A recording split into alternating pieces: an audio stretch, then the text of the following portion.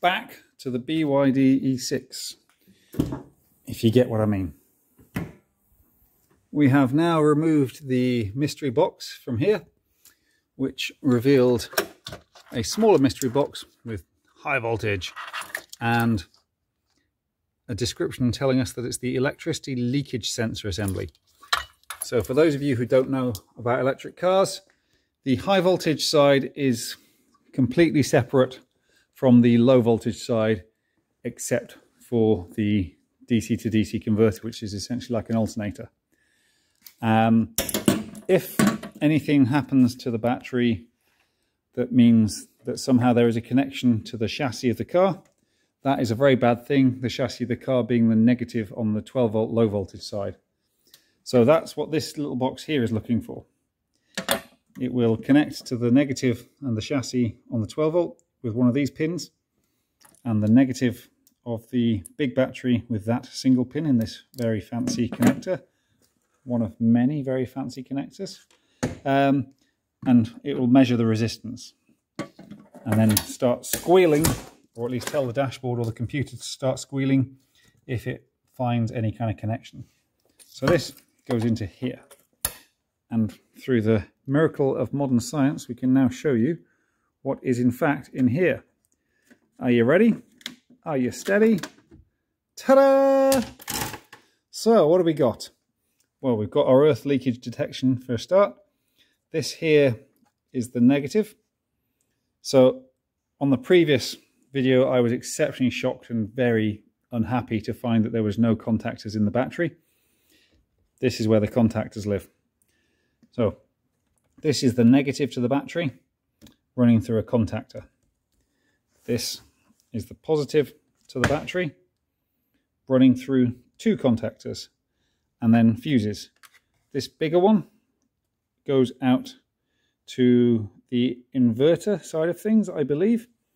And this smaller one, it would make sense to me for it to go out to the um, charger side of things because the motor can do 120 kilowatts supposedly and the charger can do 40 kilowatts and that should be borne out by the fuses so we've got a big daddy 350 amp on the what I'm calling the motor side and we have a mere 150 amp on what I'm calling the charger side of things. I could also be wrong. This could be motor and charger because I believe the charger kind of is the same thing as the motor controller. That could be every other load, like the power, no, uh, not the power steering, like the heater, for example, and almost certainly the air conditioning. But anyhow, two circuits. And then this back to the positive of the battery through a shunt, which is a thing that measures the current so it knows how much is flowing. Interestingly, or at least interestingly to me, is that the shunt is branded as BYD. Don't know if you can see that. Yeah, BYD. As are the contactors. Um, these big old relays, while not claiming to be anything in particular, are much bigger than any relays I've, I've really come across before. They're certainly not standard ones. Um, anyhow, brain, brain, back to shunt, back to this. Yeah, these. Okay, so what else is there to see? These various relays control various things. They go through, they go, basically, they get their power from positive parts here, green and red, these two.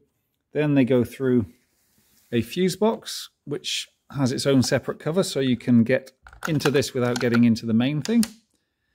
And then they go out and through this multi-pin high voltage, yet again another really fancy connector, all Amphenol's I believe, um, and out. So that could well run the air conditioning and the heating and such.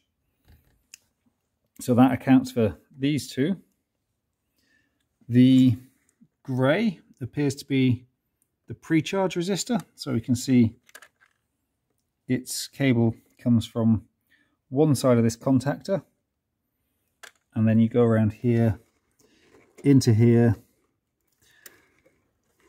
loop back a bit trust that you found the right spot and eventually find yourself back here Um, I realised I didn't show my workings quite properly. Um, and that's basically what you've got in here. Two big bastard fuses, your current shunt, contactors for two sides, I'm saying charging and operating, contactor for the negative, and a bunch of relays for switching smaller current high voltage applications. Ooh, so small brains just realized these are obviously good for doing 400 volts because they do get 400 volts in them. So that could be why they're such big buggers. Maybe I should take one of those out and see what it's all about. Anyhow, before this descends into a um, monologue between myself and myself, uh, I shall stop this video and um, yes, have a stern word with myself about meandering off the topic. All right, hope you learned something. See ya. So, here is one of these relays, and it's a Panasonic AEV 52012, 12 volt, I'm guessing, for the control. Does 520 mean it can do 520 volts? Do we have any idea of how much current it can do? Really, it's not that much lighter than a um, the Panasonic contactors in a Leaf. So that could be a really useful little toy for custom builds. All right, that's all for now.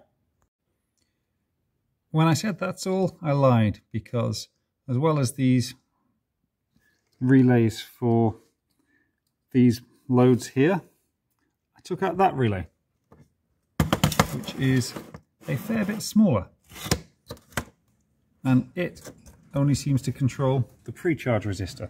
These greys, I've beeped them, go basically between here and here via that, 120 ohms. Um, quite a cool looking thing. But yeah, so if that's beefy enough to do the pre-charge, then these heavy buggers should be doing more than that.